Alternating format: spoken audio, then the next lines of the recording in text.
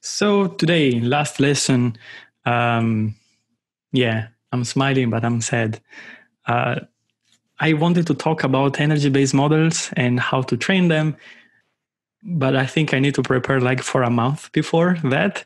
So actually, uh, if you are still interested in this summer, you will be able to uh, get a tutorial on energy-based models. Uh, we are writing a paper with Yann together, uh, and so we actually I'm planning to get this paper written as like part is going to be math, and then part is going to be actually the implementation, uh, such that you can actually execute uh, the paper basically, and you can get you know a, a better understanding of what's going on.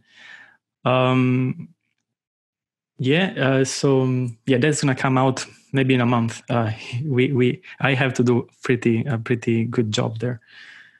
Um, so and maybe uh, if the maybe we can even have a additional class later on if you're interested. And you know i'm always here uh, up for uh, teaching you. So again if you're interested in this energy based model later on like outside the course and whatever we can again meet and uh, record and, and and the pretend is actually one more class okay?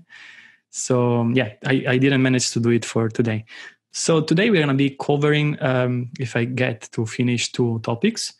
Um, we never talk about them uh, too much before uh, because they are more machine learning related, but nevertheless, we care also in deep learning. And the topic of the day is regularization. Overfitting and regularization. Let me start uh, sharing the screen. So again, this is my, uh, as usual, um, perspective of the topic. Uh, it's not usually the mainstream, but you know, it's what you get since it's my view, and I'm, I'm your educator, your instructor today. So overfitting and regularization, connection between them, right? So those are two different topics. Those are two different things, but they are of course connected. So I start with this drawing here. Uh, someone told me it's not intuitive, but again, for me it is. So derivative. Uh, here I'm showing you in the uh, with the pink box the data complexity. Okay, so those dots are sample from my are samples from from my training data set, and then I try to fit there three different models. Okay, so in the first case, that is uh, basically uh, the model complexity is below is under is um, you know is smaller than the data complexity. And therefore you have some phenomenon called underfitting right? Because you try to fit uh, what looks like a parabola with a straight line. And therefore you're um, you know, you're not going you're not doing a good job right? Then what happened next? Here we actually have the right fitting. In this case the model complexity matches the data complexity right um, and so in this case, what's the difference with the previous case? Uh, in this case, you have zero error, right? So your your model exactly matches the training points, those points. Uh, finally, we have overfitting, where the model complexity is actually greater than the data complexity. In this case, the model doesn't choose a parabola because why? Question for you, audience, live, my audi- live audience. Why is this um, model like wiggly in this case? Why is not uh, a parabola? And you're supposed to type in the chat because otherwise, I don't know if you're following. So my question is: in the last case, my data, my model complexity is superior than the is larger than the data complexity, and although those points look like they belong to a parabola, my model decides to get that spiky guy, like spiky peak on the left, and you know some weird stuff. Model doesn't learn but memorizes. Um, overfitting, but sure, sure, it's written there overfitting. But why, if those points are coming from a parabola, I would expect even a very larger model would make like a very nice parabola, right? Uh, your privately writing to me. Don't private private write.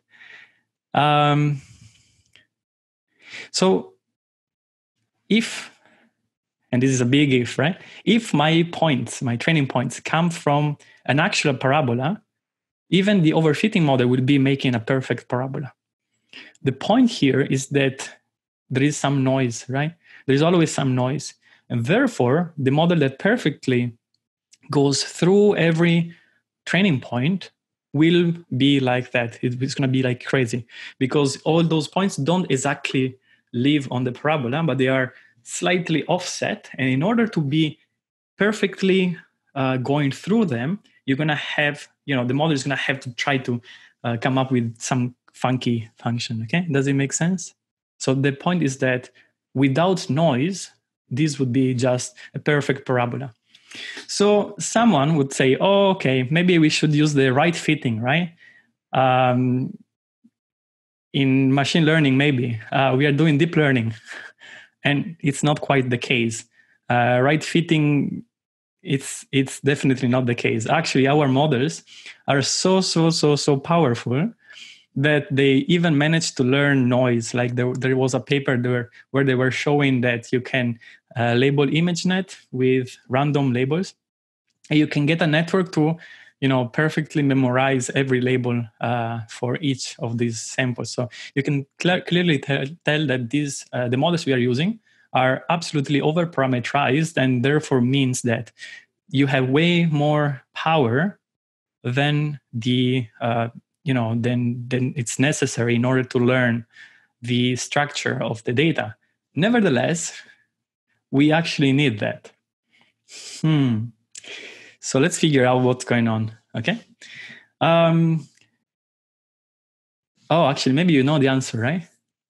So what is the point? Why do we want to go in very very high dimensional space? I told you a few times right? Because who answers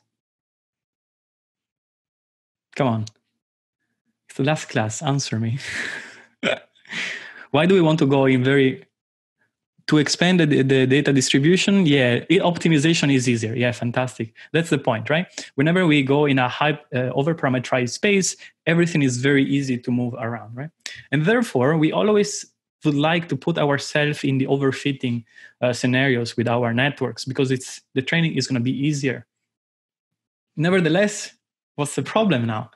Well, the problem is they you're gonna be like they wiggle wiggle like crazy. Um, another another thing. Um, so this is point number one. Point number two. Why would you think you actually have to overfit when writing your script? Second question. I know, interactive question today uh, actually show there is some trend you can model. Mm, okay, maybe it's, maybe it's in the right direction, but it's too complicated as an answer. Um, so, are you expert uh, neural network trainer? You should be right because you've been uh, following these lessons for a bit. But um, at the beginning, okay, try to answer this question. So, why would you like to overfit I even tell you one one bit more. Uh, I would always, I, I, do always start training my network on one batch. If the model has capabilities. So this is the number one rule to debug machine learning code. Okay, you would like to see whether you fucked up in your model creation. Okay, so first thing, you can just get a batch of the correct size uh, even with random noise, right? Even, you know, torch dot rand something with random labels. And then you would like to go over a few epochs with one batch with random crap, which could be the first batch of your data set or whatever, just to prove that your model can learn. Okay. You can easily make some tiny mistakes, uh, like I made a few times, like doing the zero, zero grad uh, after the backward yeah, I know it happens, and nothing happens, nothing learns. Okay, so you always want to see that your model model can learn, right? Then if it, if you can memorize, yeah, fantastic. We are going to be now learning how to uh, improve performance of a me- model that memorizes uh, its own data. Okay, so two reasons, right? First one we said over parameterize uh, models are easy to train because the landscape is much smoother. Uh, and you know, if you have an over, over parameterized model, you're gonna ha- you can uh, ideally start with different initialization. So you get initial points in the parameter space. And then whenever you train these different models, all of them will converge to a different position uh, because you can think about like a, sim- a same model, you can uh, permute all the weights. You're gonna get, I mean, you permute the weights per layer, you can still get the same uh, model at the end. So they are comparable in terms of the function approximator you are uh, building. Nevertheless, in the parameter space, they are not the same, right? So in the function space, they are exactly equivalent models. In the parameter space, they are absolutely different models. Uh, nevertheless, they will converge to um, equivalently uh, equivalent models, as in they will perform equivalently equivalently good, right? Are you following, right? Am I talking about weird stuff today? But uh, I guess this comes a bit also from Joan's class, where we talk about parameter space and functional uh, functional space. It's so so cool that class. I think next year I will try to put it online as well. Okay, okay. So first point, over parameterization helps with training. Second point, over parameterization helps you with math debugging. Can you repeat the point about function and parameter space? Yeah. So if you have a, a neural net and you permute the rows in your matrices, right? And then you permute the uh, the column of the uh, the next layer, you can basically you know you can reorganize the weights so you can get always the same performance right so if you have the first matrix you have first element of the hidden layer equals some number let's say the hidden layer has size of two right so you have a matrix with two rows. And so you can swap the, the rows. You're going to get a hidden layer that is flipped. And then the last, the next, next weight matrix, you can flip the um, columns, I guess. Uh, and you would get exactly the same network, the same, um, you would, uh, sorry, you would get exactly the same function. It's going to give you exactly the same number as an output. Although the parameters the, the parameters are actually different right? Because you swap them. So the same parameter w11 uh, is going to be w uh, 21 right? So they, they are different. So in the parameter space these are different models. So they are one point is here in the parameter space another point is here. Nevertheless the mapping from the parameter space to the functional space both of them both these two initial those two configuration will map to the same function right? Because the function connects the input to the output and they are going to be the same even if you do this permutation of the rows and then the, of the columns right? Make sense?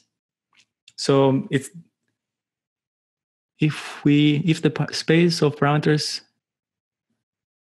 if the space for parameter space is very big for a given dataset can we say that the model is very uncertain about its prediction. Okay, we are going to be talking about uncertainty in a bit, so I'll address that in a bit. All right, so we always start with the third uh, column here with overfitting. Uh, I always want to have a model that is overparameterized because it's easy to learn, and also is going to be powerful in terms, uh, in in the sense that it's going to be learning more than what we expect.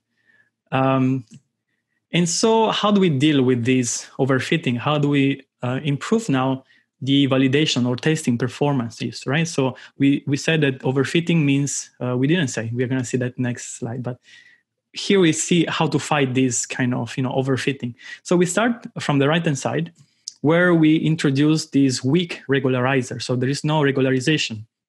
Therefore, the last plot, the sixth plot here, is the same as my third plot, okay? Then I keep uh, adding some medium regularizer.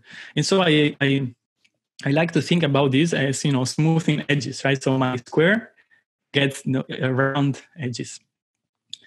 Uh, you can tell now that this second plot here is different from my second window here, right? So the, the medium regularization is different from the just right fitting. As you can see, there are some, you know, corners here.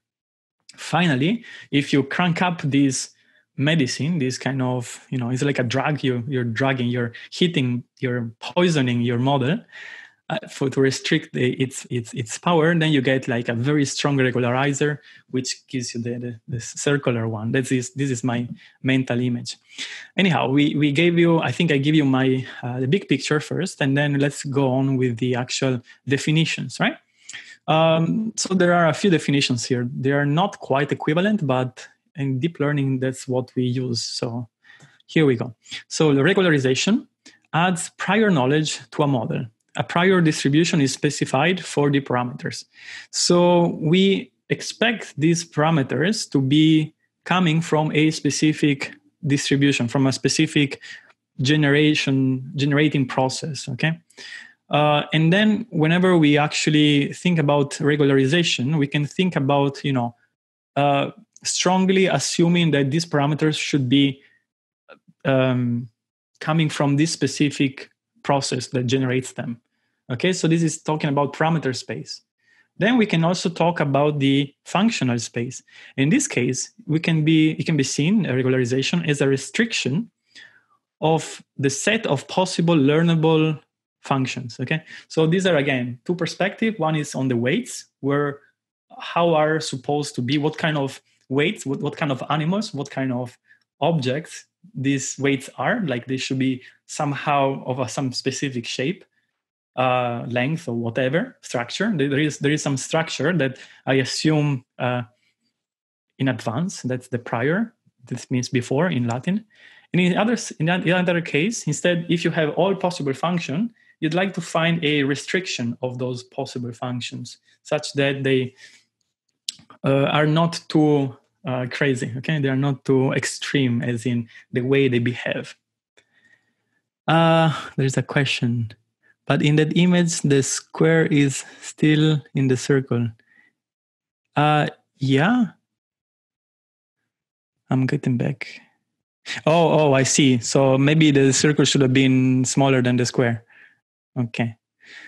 Right good point. Um okay cool cool finally that's the last definition of regularization which is the real, real deep learning part which is the following which is yeah, kind of not. Mm, it's like you know, as as as a stretch. Okay, my Google thinks I'm talking Italian. What the heck? okay. Regularization is any modification we make to a learning algorithm that is intended to reduce its generalization error but not its training error. Okay, so this is actually a stretch because it's no longer talking about prior knowledge and functional space, but actually modification to learning algorithms. So this is like moving towards maybe programming, you know. Uh, so parameters, function, then it's like algorithmic implementation. Right? So these are really three different perspective of the same thing. Cool. So first, let's start with regularizing regularizing techniques. A few examples. So first, actually, I, I start with Xavier initialization. I told you before that we can think about these parameters as coming from some generation generating process, right? So whenever you initialize a network, you can choose to cho- you can choose to select one uh, uh, regular um, one prior, right? So these are this is defining where your um, your, your weights are coming from. So in this case, we can choose Xavier normal, which is a initialization technique. And this assumes this kind of Gaussian um, Gaussian distribution, right? So you have the weight space, weight values, and you know the, most of them will be picked towards the zero, and then you have some kind of um, some some some kind of uh, standard deviation that is based on the size of the input and output uh, size of that specific layer. And so from here, we can start introducing the weight decay. Weight decay is the first regularization technique that is widespread in machine learning, not maybe, not maybe too much in uh, neural nets, still relevant. So weight decay, uh, you can find it in uh, directly inside the uh, Optim package. Like you, it's a flag in the, in the different in the different optimizer. It's also called L2 regularization, ridge regression, or Gaussian prior which basically tells you that things come from this Gaussian process or Gaussian, you know, distribution, generating distribution. Nevertheless, we call it weight decay. So why do we call it weight decay? Uh, so this is first thing that you know if you train neural net you're going to call weight decay not the other things so we can start with this j train that's our objective which is acting upon the parameters and which is equal the old training the, the, the one without the regularization plus a penalty term like um, like the, the following so we have the, the square norm the square two norm, right, of these parameters. And so if you uh, make the, if you compute the, the, the gradient, of course you're gonna get just the uh, lambda theta, right? Because the two comes down, simplifies, you get that guy.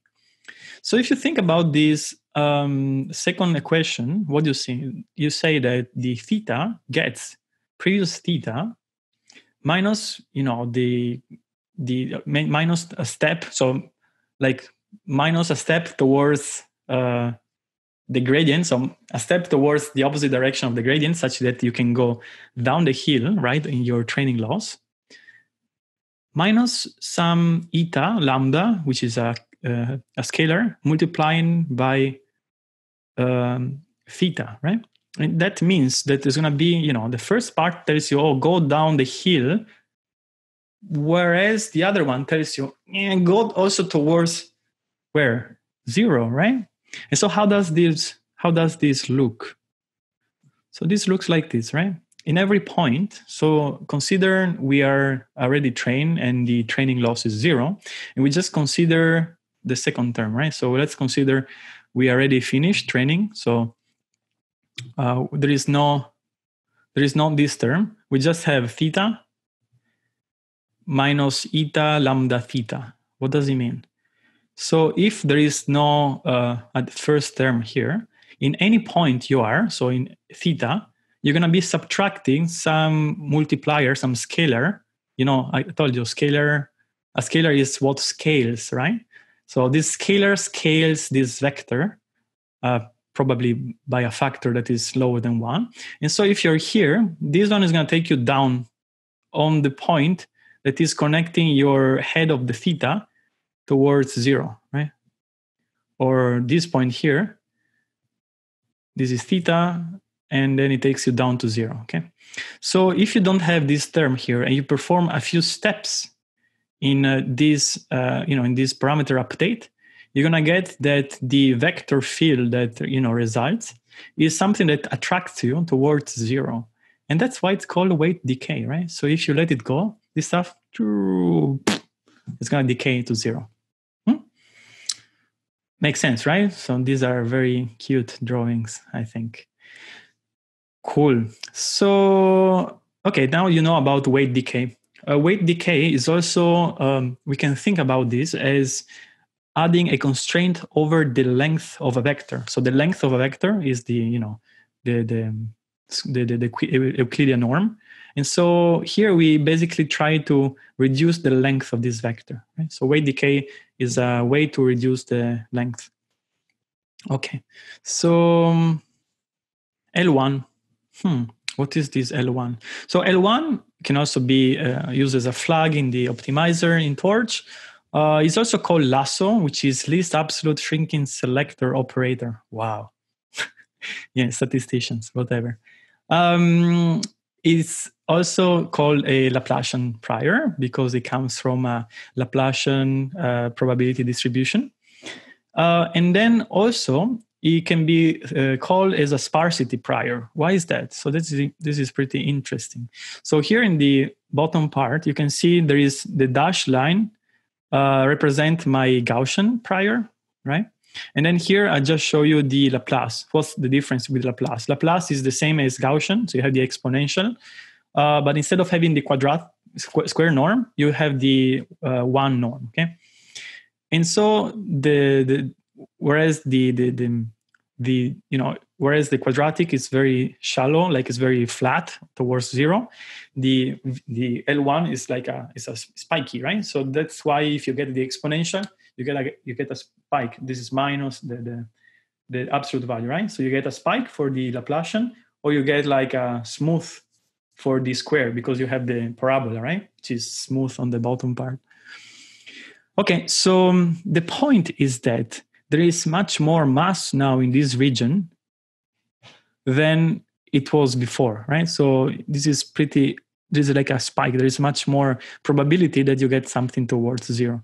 Nevertheless, maybe this is not too clear as an explanation. So I show you this second diagram. So in this case, my training loss, instead of being the old train loss, I'm going to be summing lambda the norm one of my theta, okay? Therefore, if you compute the gradient of the L1, what do you get? So L1 is going to be just 1, right? If you're positive, or it's going to be minus 1. It's the sign function. Yeah, exactly. So you get eta, eta lambda sign function. And so let's now think the same way what happens uh, if you already finished training you don't have this term over here, and you just get theta minus eta lambda sign theta. So if you are on the on the x-axis, you know the, the y is completely doesn't have is is already zero, so you're gonna get some arrows bringing you in, right? So if you're on the axis, you're gonna get exactly as L2. You're gonna go towards zero. Now, what happens if you're in first quadrant? So in the first quadrant, you get a sign in both direction, right? Scale by the scalar factor there. And so it's going to be pointing down this way. So here I show you the uh, the the gray arrows here. They're showing you the L2 regularization, which are taking you from the initial point towards zero is proportional to this vector that is here. Whereas the L1, which is going to be in a different color, and color green, the L1 instead, starting from here, it takes you down 40 degrees here. And then what happened here? Well, you just kill the Y component, right? And so the L1 uh, vector field, it will quickly kill components that are close to the axis, right? So if you're kind of close to the axis, this one, bam, takes you down to the axis in a view in a few steps, right? And then if you still apply this one, you're gonna go down the axis here, right? So this one allow you to quickly go down here, and then if you still apply, you can shrink the length. But the point is that you're not looking at the uh, length shrinking, as in the uh, in in the L2, right? So L2 was just shrinking the length of the vector. In the L1 instead, you actually gonna kill the components that are kind of clean, uh, near the axis. Okay. So I, I think you can clearly now understand how this works, right? So uh, and this actually is quite relevant for training, uh, let's say, you know, our regularized um, uh, regularized latent variable models because you can you know you can think about you know a very quick way to regularize these uh, these latent variables. Is going to be just killing some of these components such that only the information is going to be restricted in a few of these uh, values okay? You like this stuff? You like the drawings? Hmm? they're cute i think okay uh, oh, okay. Dropout, right? So we we talk, I think, about dropout a few times, but I never show you the animation. So uh, arrow, boom. Okay. So dropout. What does this dropout do? So I can show you my ninja skills in PowerPoint, and we have an infinite loop animation. So the input in the pink is provided to the network uh, and then you have that these hidden layers, hidden neurons, are sometimes set to zero. In this case, is you have a dropping rate of 0.5. So half of the neurons are going to be turned to zero on uh, randomly during the training. And so what happens here is that there is no more path between the input and the output that is, uh, you know, it, it, there is no learning of a singular path for input to output. So every time, if you want to try to memorize one specific input, you can't because every time you get a different network. And so again, this basically tell you, uh, oh discard. Okay. So what happens here is that again, before if we have like a fully connected network like this, you can think about, oh, I would like to memorize this neuron uh, going this path and then here, right? So you can try to memorize uh, some specific, you know, sample. You get, you can memorize a specific sample in this case. But again, if you have the network that is taking off neurons sometimes, sometimes this neuron here on the left hand side doesn't exist, right? And so if this one doesn't exist, then you cannot memorize a specific path. Moreover, you can think about this dropout as training a infinitely infinite number of networks that are different, right?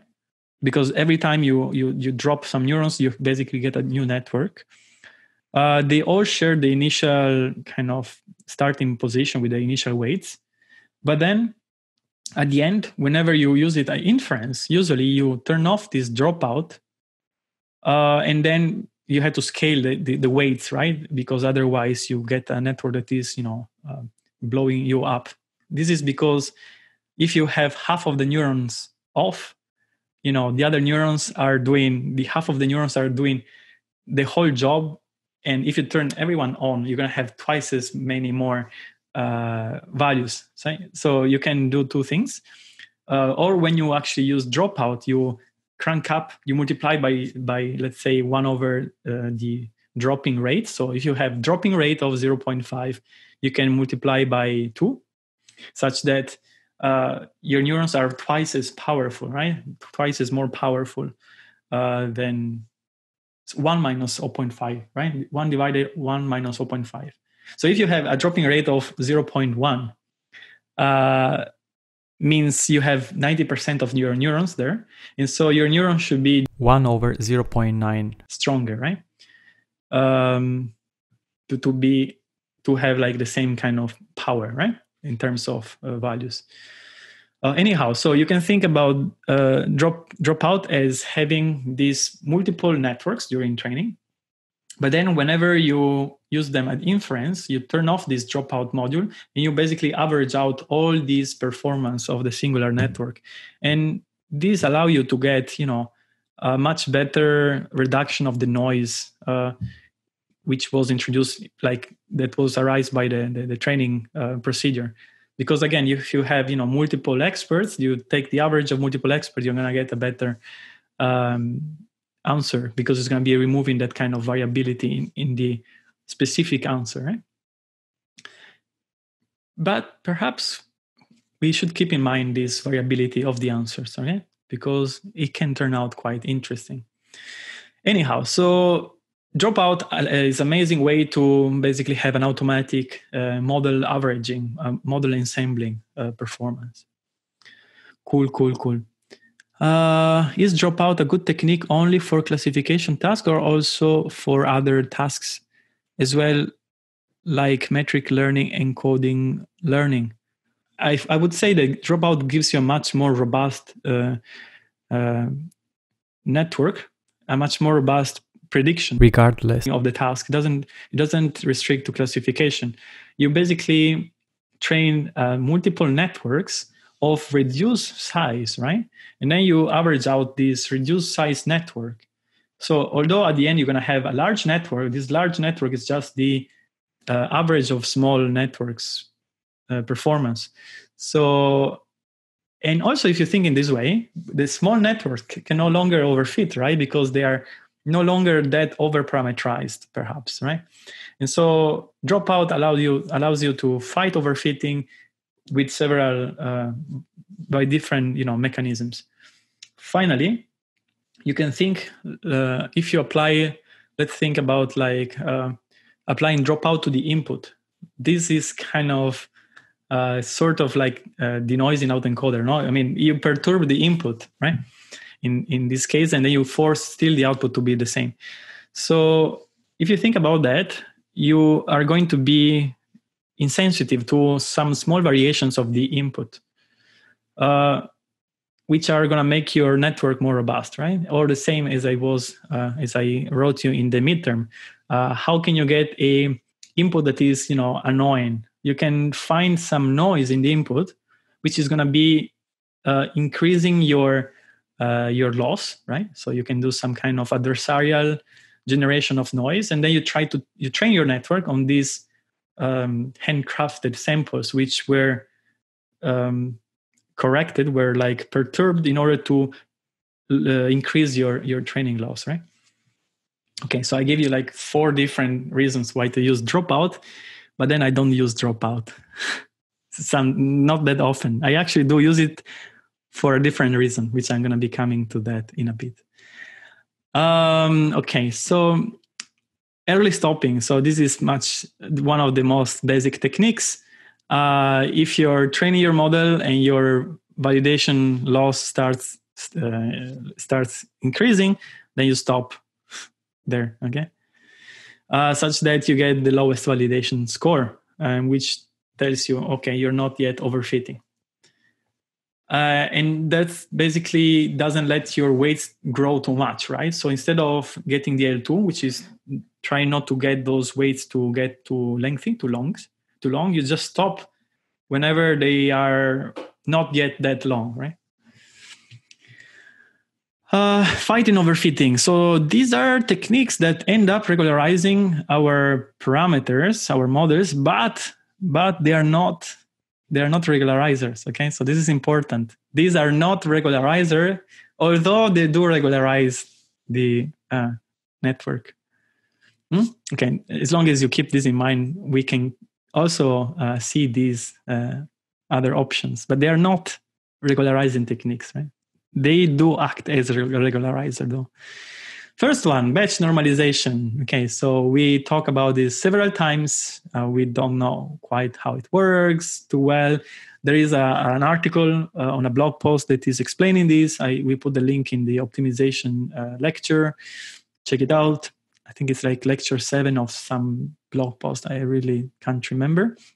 Anyhow, so the point is that you reset the, the mu, the, the mean and the sigma, the, the sigma square, the variance at each layer and these allow you to okay the, when you reset the mean and the sigma this is based on the specific batch you have right because you compute the mean and the sigma square over the specific batch but then if you actually sample uniformly from your training dataset you will never have two identical batches right so every batch will have a different configuration of samples Therefore, if you compute the mean and the standard deviation, they will always be different, right? And therefore, again, I said five times, therefore, you're going to be applying a different correction per batch.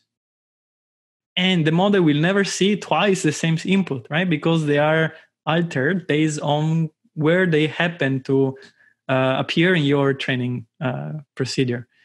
So, because you never show the same uh, the same input twice. And this is so cool. Uh, i really like it. And that's all you need usually most of the time to train your network. You don't need um, dropout and this technique also speeds up your training like crazy. Before batch norm was introduced it was taking me i think one week to train uh, on imagenet. I think at least if it was if it wasn't a month it was terrible i think. But again that's like eight years ago. Uh, yeah it was terrible training on imagenet. Uh, with batch normalization i think you can train in one day. So that's ridiculous do you mean robust in terms of adversarial learning as well? I don't understand why we don't see the same sample twice. Um, i'm saying robust here as in uh, you're providing different inputs every time because and so the network gets a better coverage of what is the training manifold. Uh, you don't see the same twi- uh, input twice because the same input based on how it appears in the in the batch. So if it appears you have you know input 42 and this input 42 happens in a given batch. You subtract the mean of that batch and divide by the standard deviation and you get the, the new you know value right within the network. But then if that input 42 happens in a different batch then the mean of the different batch is going to be a different mean. And therefore you're going to get a slightly different input every time. So you never actually observe the same input because they happen to be packed in a different batch and therefore the statistics of that specific batch will be just specific to that batch and you know it's going to change every time you're going to have a different batch. So same input get a different um, correction let's say this way uh, if it appears in a different batch. So it you never see the same input twice. So this technique is all i use usually for training my network. Um, and it works. But again recently i've been using dropout for a different reason. So we're going to be um, okay. We are going to see this in a, in a few minutes. Uh, more data of course. Just provide more data you're going to fight all over fitting but then you know ting ting ting ting. Okay uh, finally, data augmentation. So data augmentation is also a very valid technique in order to, you know, prove provide some kind of uh, deformed version of the input. If you're talking about images, we have uh, center crop, color jitter, different crops, uh, transformations, like affine tra- random transformations, crops, random rotation, horizontal flip. Right? If you see myself like that and you flip my face, I'm still me, kind of. Right? So uh, if it's upside down, well, maybe not quite. Uh, nevertheless, you can see that if you provide some alterations that are perturbation that you are, if you like to be insensitive against, then you can improve your perf- uh, performance of the network, which is going to be learning how to be insensitive to this kind of, uh, you know, variations. Okay, okay, okay. So quickly, quickly, quickly. Oh, okay, transfer learning. Uh, we already know about uh, transfer learning, I think. But again, so you get your network, you already train on a specific task. You just leave the first classifier there. You move everything. You plug a new tra- uh, a new classifier or whatever, and then if you have you know a few data with a similar kind of training distribution, you just do transfer learning, which is again uh, training just the final classifier uh, if you have lots of data, uh, you should fine tune because you would like to also improve this uh, the performance of the like you would like also to tweak the uh, feature extractor the the blue the blue layers. And the colors are flipped here. Damn the hidden layer should have been green and the output blue. Ah. okay few data and different from training you want to do early uh, transfer learning, which means you know you start changing um, also you know a little bit of the the of the other layers as well, not all of them, and then yeah, you want to remove a few more layers. Actually, yeah, oh my my bad. So you would like to remove a few of those uh, final hidden layers because they are kind of already specialized so you want to retrain the base features extractor here. And if you have lots of data which are different from the training distribution, just train. Okay. Um, okay. Also, you can use different learnings, uh, learning rate for different layers, right? To improve performance. So maybe you, um, you'd like to change. Um, yeah. So you, you can you can see that usually these final layers are the one that are changing uh, quicker because they are close to the uh, to the loss. But then again, if you use uh, batch norm, all these layers are kind of training the same speed. Otherwise, again, you can see whether you want to change learning rate, maybe change these guys slower or not. Did you say is the difference between transfer learning and fine tuning? Uh, transfer learning, I just train the final classifier because I don't have, if you have few data, you don't have enough, you know, you don't want to overfit. So you, if you have few data, you want to just reuse the whole network from the previous task and you just train the final classifier. If you have lots of data, then you can actually even um, try to have like some changes. You can also, you know, you can start, you have a, a lower learning rate. You also change for this feature extractor if they are similarly so transfer learning you freeze the the base network yeah i would say the transfer learning you just freeze the the, the blue guy and you just train the, the orange in uh, fine tuning you actually tune all the other parameters as well maybe with smaller learning rate this is the uh, number 12 notebook. Here I'm classifying the sentiment of these reviews on the IMDb dataset. All right, and so I'd like to compare different regularization techniques. So I'm just keeping everything because I just like to show you the final result. Let me see, where is the optimizer? So you can toggle different things. Uh, at the beginning, we have no weight decay, nothing, right? So we train with this regularizer. Let's check what is the model. So the model is just a feed-forward neural net, uh, which is feed-forward neural net. We have some embeddings, a linear, a linear. And then my forward is going to be getting my embeddings, sending to the forward, the fully connected ReLU. Uh, and then, you know, you get the output from the so second fully connected and I'm outputting a sigmoid because I'm just doing um, I think a two class classification problem. So we'd like to figure out if it's a positive review or a negative review. Um, and so this is the initial training. And we got, you know, the validation curve climbs up as crazy, whereas the training curve goes down to zero.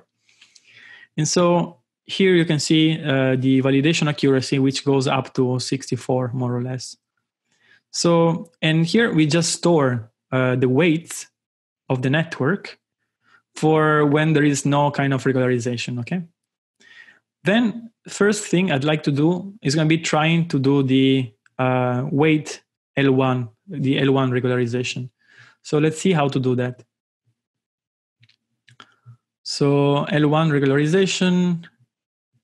Okay, toggle this one to do L1 regularization. So here I'm extracting the model parameters, and then I'm going to be adding some term to the to the loss. Okay, so the loss is going to be some part of this.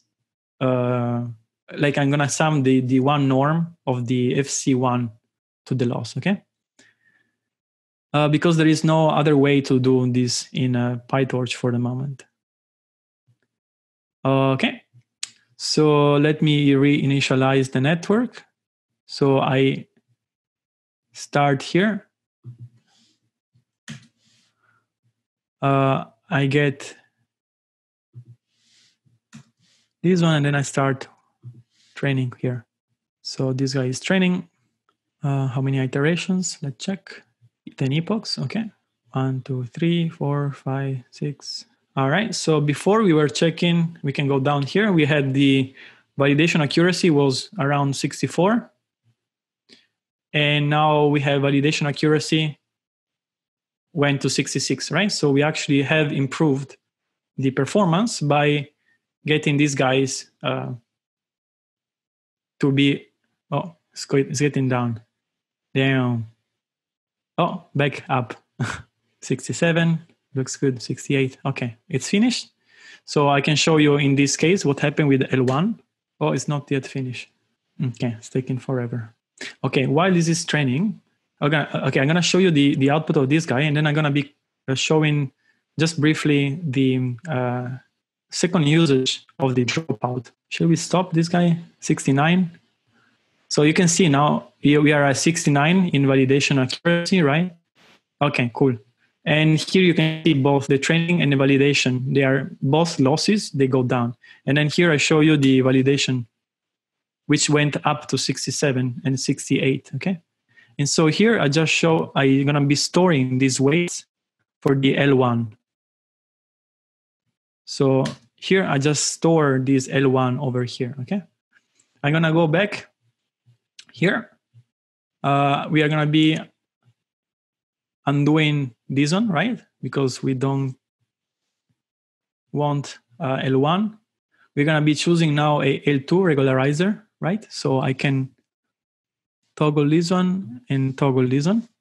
All right, so now we have a weight decay of this value. Um, model, I execute this one and I execute these guys. All right. So while the L2 is training, I'll just show you a quick uh, overview about Bayesian neural nets. So estimating a predictive distribution.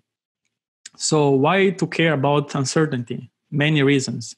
Uh, if you have a cat dog classifier and you show a hippopotamus, the network is going to tell you, oh, this is a dog. No, it doesn't know. It cannot tell you, oh, this is not of any of the above, right? You can think about, oh, let's make a third category, but then how can you show you? How can you show the network not a cat and not a dog? Uh, doesn't quite work like that. So you can't really find. I mean, cat is an object, dog is an object, not a cat or not a dog is not an object. So you can't really train your network to say everything else um, reliability on steering control. Let's say you're training your car to steer right and left, and then your car says steer to the right.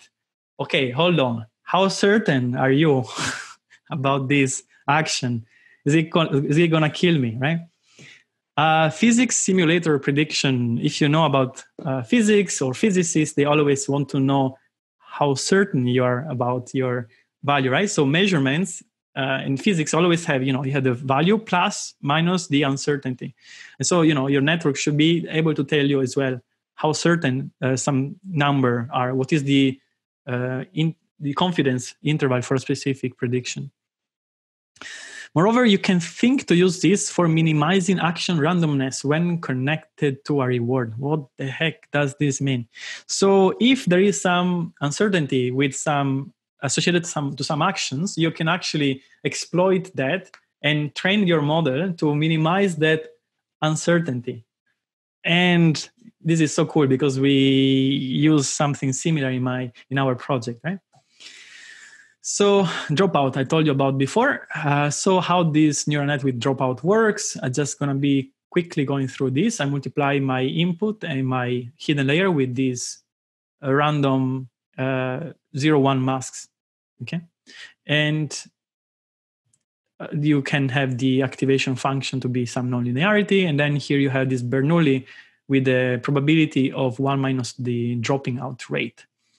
So this is the dropping out rate and then you want to scale the uh, delta such that you know you resize the amplitude of those weights. The training has just finished so i'm going to be switching that. I'm sorry for the context switching. Oh, okay, cool, cool. All right. Uh, calculate the variance. Yes, someone was saying calculate the variance. I know I'm switching. I'm, I'm sorry. It's the last lesson. I'm making a mess.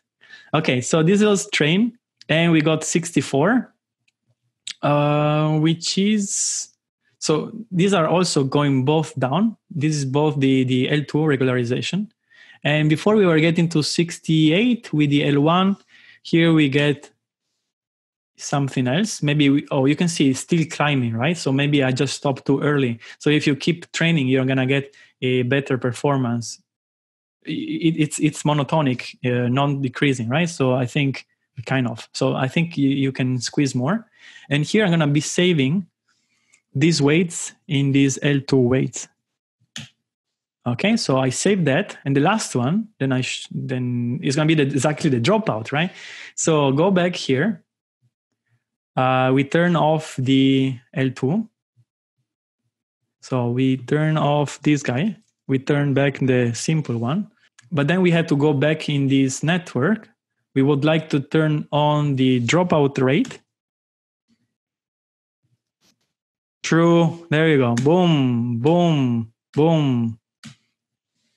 Okay. Is it training? Yeah, it's training. All right. Cool, cool, cool, cool. Back to the presentation. I, I know. I'm sorry. I'm I'm going overtime. What a bad teacher. okay, so this is actually what we are doing, the dropout part, right? Okay, cool, cool. All right. So this is my dropout. I, I mean, I mean, I am basically multiplying these inputs and hidden layers with masks. Here you just have like a network which has trying is trying to train that you know uh, prediction uh, that is weekly prediction. It's like a CO2 concentration level.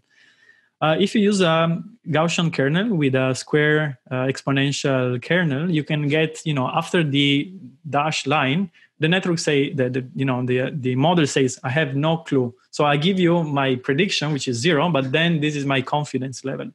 Can we do something similar with neural nets? Yes, we can. So this is a uh, uncertainty estimation using the ReLU nonlinearity in the network, and this is instead the using tanh, which is exactly nothing. Um, if I'd like to do a binary classification in the first case are going to be my logits uh, on the section minus 3 to 2.5 is the training training training uh, interval and then if i show you if i show my network uh, if i ask oh what is the prediction for x hat no x star? If i don't use any uncertainty estimation you're going to get a very high value right? Which is correspondent to oh this is uh, one so this is my one class. If i just use the the, the white big thick line. Instead if you use this uncertainty estimation you get this network to get those logits here with it kind of you know uh, blur foggy shadow and therefore if you apply the sigmoid you get basically that to flip down from zero to one right so you no longer say it's one you can say it's one with some specific probability right um, and here I'm showing you a, a, network that is trying to, it was trained on MNIST. And then you provide a one that is, you know, tilting.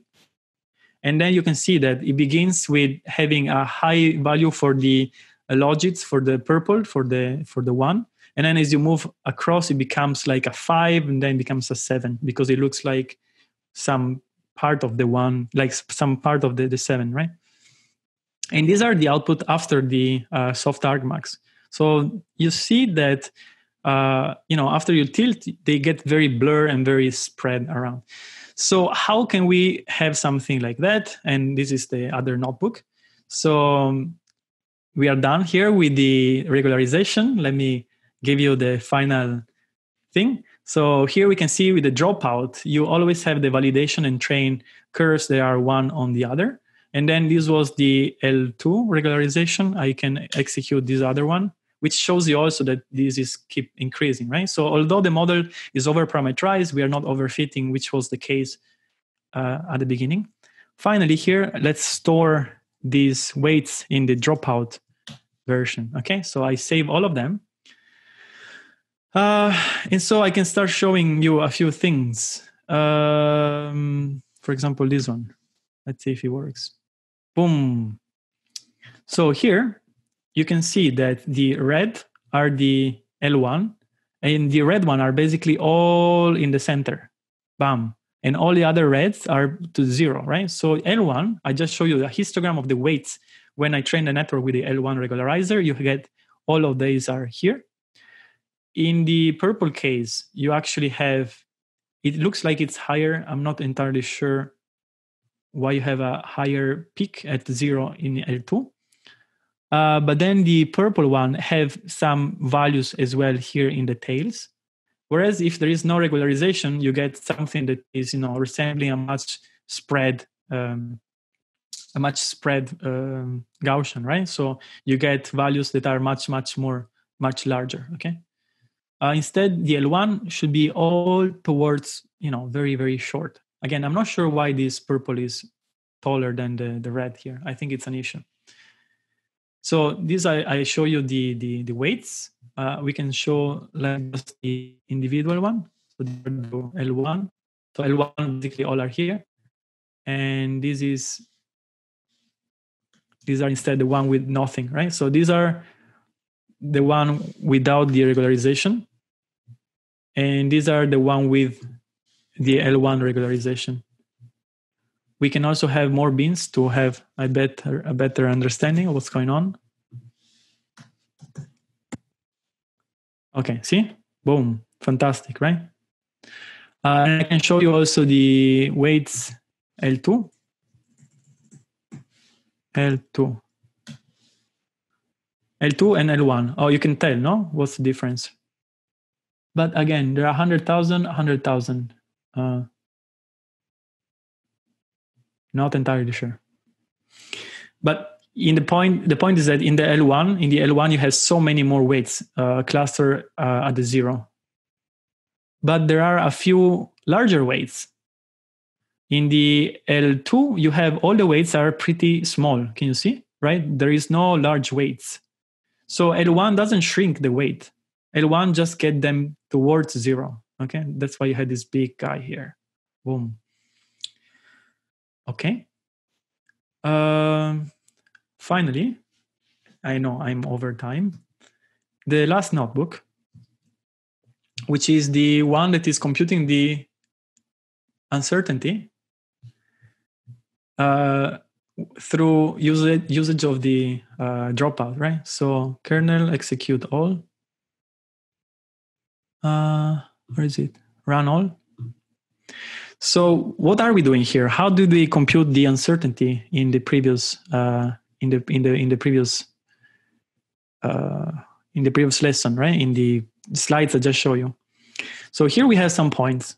I try to fit them with my network, and you get something like this. Can you tell me what network I used? What is the uh, where is the chat? Can you tell what is the um, nonlinearity I used? You should know, right? You don't answer? Answer. okay. Um, and so here, yeah, ReLU.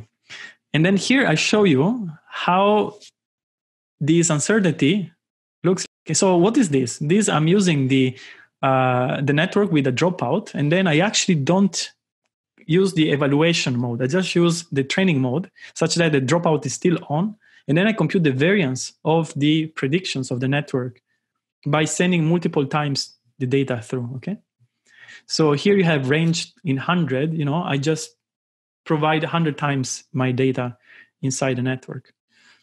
Okay so this is a network with the ReLU let me show you how a network with the uh, hyperbolic tangent uh, works. So oh, oh yeah let me kill this one.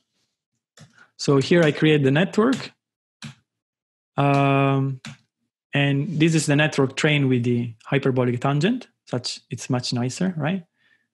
And then I show you the network is in train mode, right? But then I, I feed several times, I feed 100 times my data points inside. And then I evaluate the mean.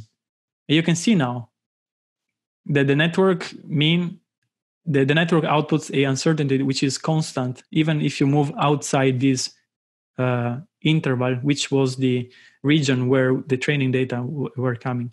So you can see now that these uncertainty estimation are a bit, you know, funky, as in different activation functions give you different kind of estimation. They are not even calibrated. Nevertheless, you have the uncertainty close to the data points. It's very, very, very tiny, right? So you can tell how far you are from the training region. And we use this this trick here, this this um, this part in order to so again this variance here is like it's a it's a differentiable function and so you can run gradient descent right in this in order to minimize the variance and this would allow you to move towards the region where the uh, where the uh, data points where basically the, the, the training region this this is what we use for the our policy right in our uh, driving scenario so Whew, that was it, right? Uh, we, we reached the end of the class, the end of the semester. Uh, it was such a great honor to be your teacher for this semester. I screw up a little bit, maybe halfway through. Thank you for, you know, helping me getting back uh, on my feet.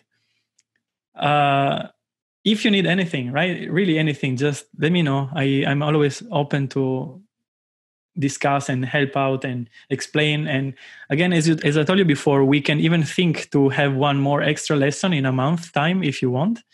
Uh, the same way zoom and whatever. Uh, we, about the energy based models. Um, again if you have any question about all any of the lessons you can write on youtube in the comments below. Uh, i will answer. If you have like specific uh, if you're interested in making drawings a visualization uh, you can always actually you should talk to me because i'm actually uh, creating a group for visualizing machine learning stuff. Um, and we have the website. We have plenty of things to do. English has to be fixed in many of the uh, in many of the of the of the contributions. Some math is broken and you know there is plenty of things uh, open source things to do if you are uh, if you're interested, and um, and yeah, I think pretty much that's it. Um, I, I'll see you next Monday, right? Again, you should submit the three video presentation. I, I made a um, I made a tutorial about how to make a presentation. If you like how I teach and you may want to hear my opinion about how you should present your work, uh, it's on again on YouTube. Um, and yeah, I think that's it. All right. So again, thank you so much, and I can't wait to see uh, all your results for the for for the project. Um, see you on Monday. Good luck. Bye bye. Questions about the class? ah, fuck. There was one more notebook. Ah, damn. Okay. Ah. Okay, uh, let me. Ah, okay. I, I can't go over. I'm too late, right? In the extra, and there is one more notebook I wanted to talk about, which is the. So this is the projection notebook. Ah, damn. Okay, so. Ah, okay. Maybe we can do an extra lesson with the projection, uh, and I talk about this next week. Up to you guys. More questions? I know it's it's late, and uh, there was this notebook. It's. Ah, okay. Yeah, you know, I want to be teaching more. okay. No, no question. There is a question. Google uses Vizier to select hyperparameters for its neural for its networks. Those tend to be either random search or Gaussian process for hyperparameter optimization. Exactly. Uh, yeah, but I haven't worked like I haven't tried them out, so I can't really give you a, a opinion. So I I know they exist, but I'm not. I, I don't exactly know everything yet. okay, uh, I think that's it, right? Okay, so see you Monday. Oh, oh, oh. thanks. Yeah, of course. Bye. Post a lasagna. Oh, I put the I put the lemon cake. Right. Keep the teaching going. Yeah, that for sure. Uh, I think we are there. Yann is teaching also in the in the fall. Actually, Yann and Kyung are pairing up, and they are teaching in the fall. And I will be also teaching the labs, but I don't know. We haven't yet discussed the content. I'm like, oh boy, more teaching, but it's fun. But okay, bye. Okay. So um, I think that was it for today. Unless there are some questions for me, for Yann. Uh, I know you send me emails. I, I have a few, I think a few hundred emails from you. I will answer. Uh, uh, I will answer. Don't worry. Uh, th- th- don't don't don't worry too much. We can figure out what's happened, right? Don't don't freak out. Uh, as I told you before, we can have an extra lesson in one month uh, for the energy-based models uh, whenever I'm done preparing it.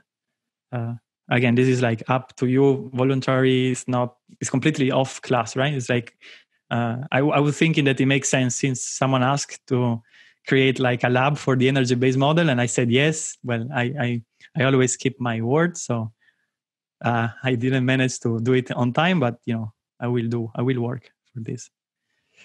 Um, questions? Nope. All right. So it was has been an honor. Uh, seriously, I, I, I loved being uh, been teaching uh, to you this semester. Uh, you had so many questions, and especially when we switched to this online uh, format, I think I, I, personally loved it. Right. So at least in my opinion, before we had Yann lecturing, and maybe you are a bit shy. Uh, I'm not shy. I mean, I I don't care. So I, I think this format where you write questions and I just read out whatever uh, it's in your mind. Uh, it really worked well in terms of you know figuring out what are those aspects that are least, a, a little bit uh, harder to, uh, to, to to to to catch, right? Uh, because again, we we may not be able to figure out what is the part that is less um, less clear, maybe because we've been talking about these things for a, a while now.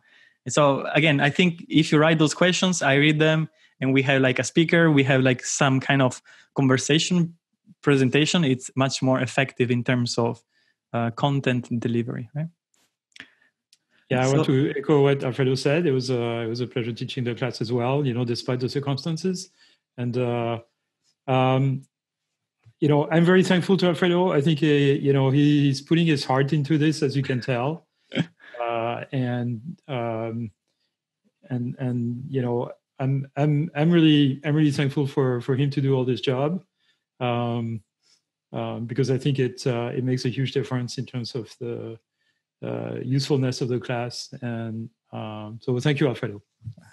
Thank you. And Jacen, right? Jacen made the, the whole the chart. Jacen actually did a huge amount of work. oh my God! This last month, Jacen make this competition possible to put together the data, the basic code, the data loader. Uh, this was, I mean, he worked on this for you know a lot for the last few months, and and then you know gathering gathering all the all the results. So thank you, Jacen. Yeah, I think it's been two months now. He's been working on this stuff. All right, guys. Thank you. Uh, you always get me. Uh, you know, just tweet me. I answer every time. Uh, uh anything you need, you know, you can find me. My door is always open, uh, or in the office, or here on on Zoom. Right. So, just you know, as Alfredo said, this this project uh, we have this autonomous driving project, and you know we need all the help we can get with this. So if you are in some of the top teams and you're interested in participating, uh, get in touch with Alfredo, and you know you could work on this during the summer or or or perhaps beyond. All right. All right. Um, bye bye, guys. all the teams. all right. Okay. Bye bye, guys. Bye.